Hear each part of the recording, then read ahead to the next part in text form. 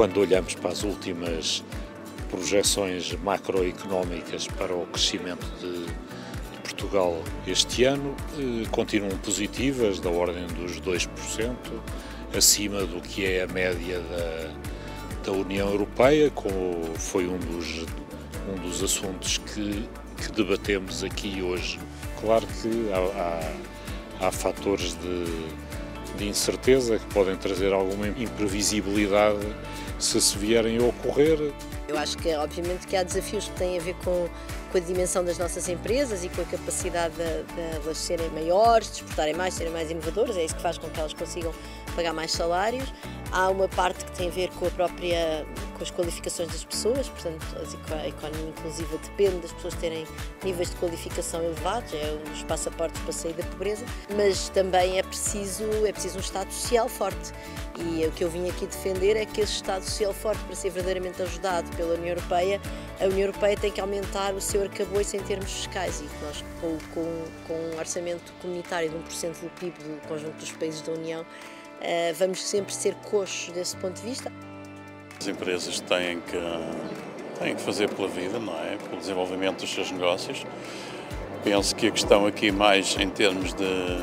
do governo o que é que os governos podem uh, ajudar as empresas, às vezes para as pequenas e médias empresas, os licenciamentos que fossem feitos a tempo e horas, as leis que fossem cumpridas é para ser autorizado é autorizado. Agora, o que não é aceitável é as empresas de facto quererem crescer e desenvolver os seus negócios, contribuírem para a riqueza de Portugal e para a maior criação de emprego qualificado em Portugal e muitas vezes ficarem meses esquecidos à espera das respostas dos, dos organismos. Para mim é sempre importante ouvir opiniões diversas, a, a ouvir informações estatísticas e, e, e relevante e ao mesmo tempo atualizada.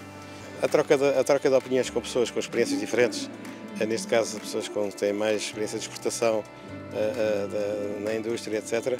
são sempre conhecimentos e, portanto, eu estou, uma das coisas que eu pugno sempre é, é estar disponível para,